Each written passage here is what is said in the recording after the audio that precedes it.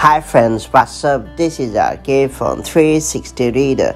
Right now I'm going to how to add note to an iPhone contact. So whether you wish to personalize the contacts on your iOS device or simply don't want to forget any important thing, this tip is for you. That all being said, it's time to learn how to add notes to iPhone contacts the quick way. Before getting started, make sure you have subscribed our YouTube channel and hit the bell icon so that you won't miss any update from 360 Reader. First and foremost, load the contacts or the stock phone app on your iPhone and then head over to the contact where you want to add a note. Under the Notes section, tap on the empty field to bring up the software keyboard and then type in the note. And once you have typed in the note, tap on the back button that is located at the top left corner of the screen to finish.